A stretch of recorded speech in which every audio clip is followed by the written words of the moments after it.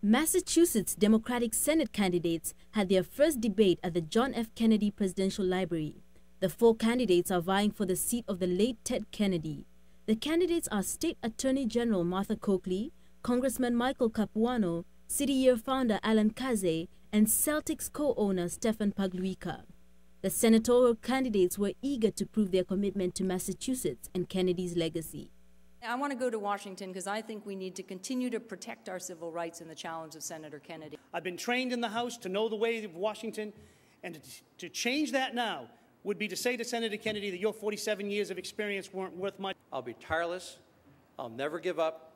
I'll never let you down. My pitch to you is let's keep these terrific leaders where they are, and you get me too.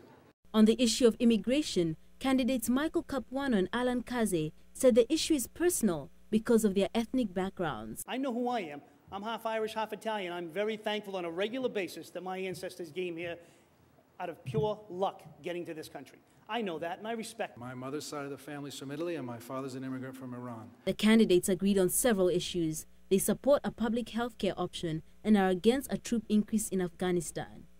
WEBN caught up with Alan Khazei after the debate and asked his views on whether the U.S. should invest resources in other countries where Al Qaeda are known to hide. Well, we're spending $65 billion in Afghanistan, only $2 billion in Pakistan. We need to go after Al Qaeda all over the world. This is Mombi Michelle Kimani reporting for WEBN News.